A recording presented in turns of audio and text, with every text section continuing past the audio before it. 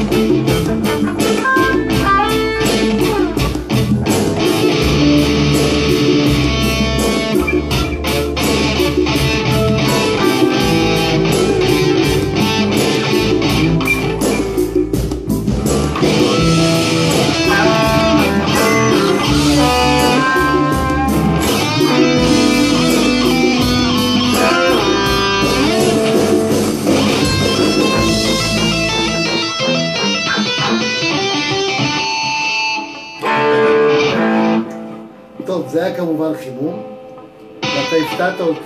למה? שידור חי, לא ידעתי. איך העמיד את המצלמה עוד, יאללה. מה? חסר לי טיפה גיין. גיין זה טוב. רגע, רגע.